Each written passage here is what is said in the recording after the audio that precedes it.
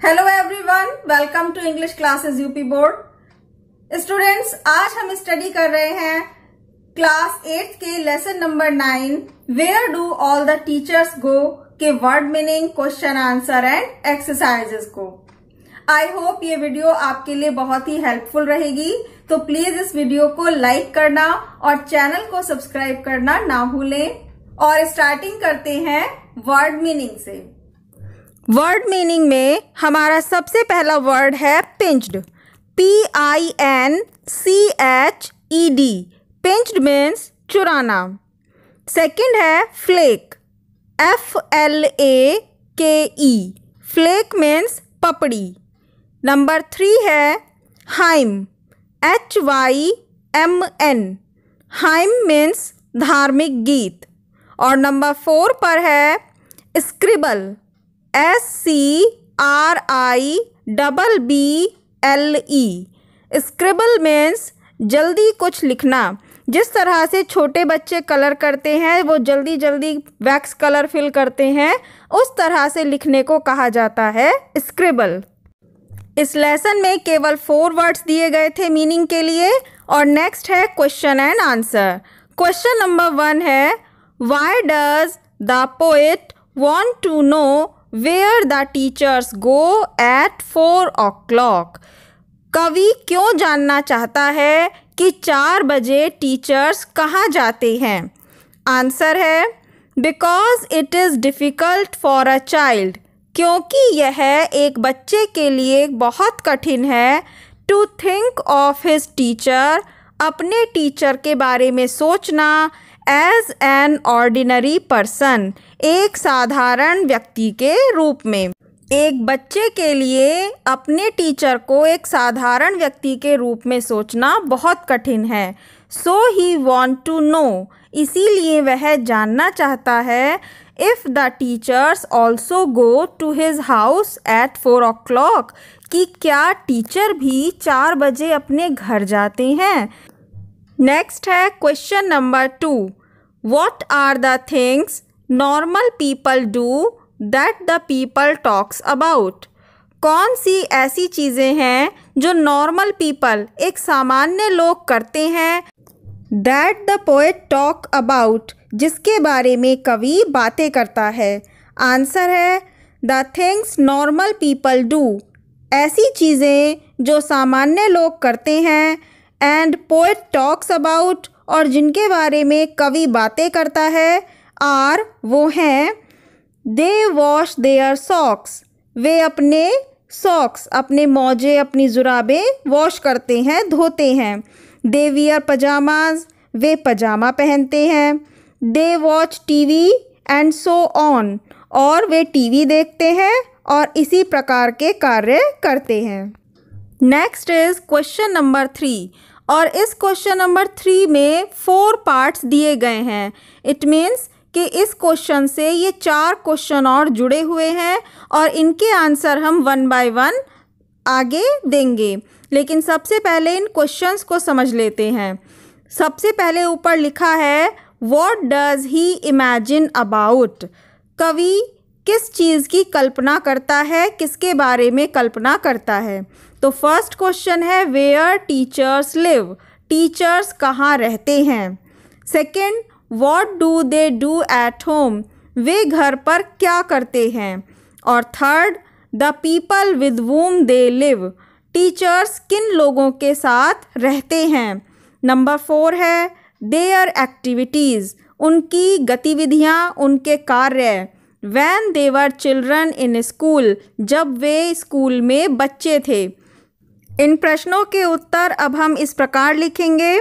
Number one है he imagines do they live in houses क्या वे घर में रहते हैं? कवि ने कल्पना की थी।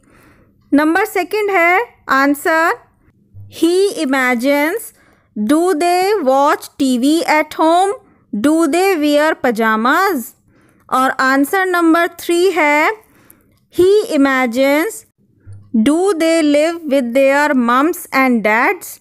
Answer number 4 है He imagines Do they scribble on the desktop or were they punished in the corner? Question number 4 is Why does the poet wonder if teachers also do things that other people do? कवि क्यों आश्चर्य करता है ये देखकर कि जो दूसरे लोग कार्य करते हैं, वही चीज़ें टीचर भी करते हैं। आंसर है a teacher is a special person for him क्योंकि एक बच्चे के लिए, कवि के लिए टीचर एक स्पेशल पर्सन है, एक विशेष व्यक्ति है नॉट एन ऑर्डिनरी पर्सन एक साधारण व्यक्ति नहीं है। सो द पोइट वंडर्स इसीलिए कवि आश्चर्य करता है about all the things in सभी चीज़ों के बारे में। Next is question number five how does the poet plan to find out कवि किस प्रकार प्लानिंग करता है, तैयारी करता है टू फाइंड आउट इस चीज़ का सोल्यूशन ढूँढने के लिए, इस चीज़ की खोज करने के लिए। What will he do once he finds out. वह क्या करेगा?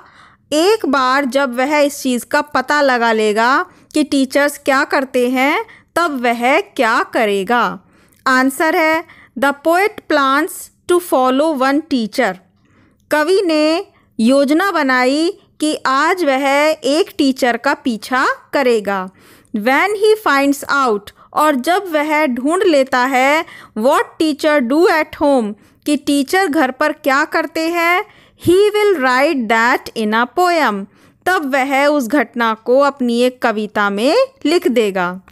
Some day a teacher will read that poem for students like you और किसी दिन टीचर विल रीड एक टीचर पढ़ेगा दैट पोएम उस कविता को फॉर स्टूडेंट्स स्टूडेंट्स के लिए लाइक like यू तुम जैसे तुम जैसे छोटे बच्चों के लिए स्टूडेंट्स के लिए एक एक टीचर यह कविता पढ़कर सुनाएगा।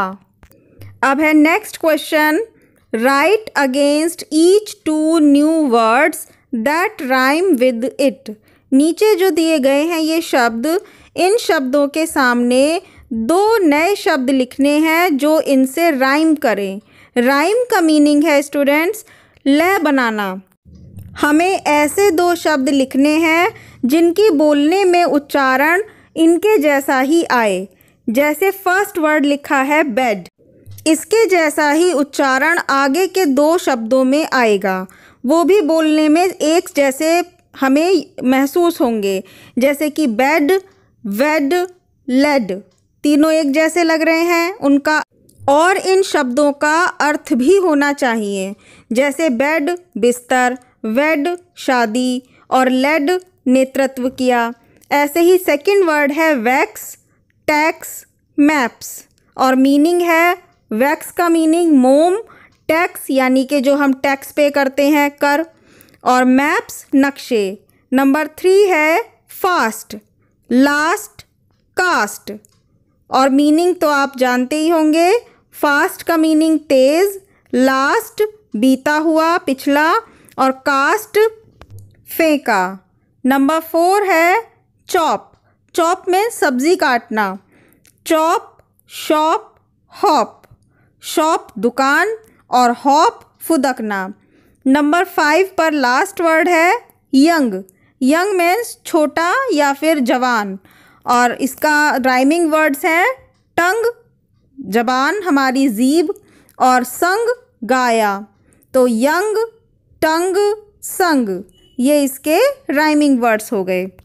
तो स्टूडेंट इस तरह से आपका ये लेसन यहाँ कंप्लीट होता है। आप इसे अपनी कॉपी में लिखिए और लर्न कीजिए।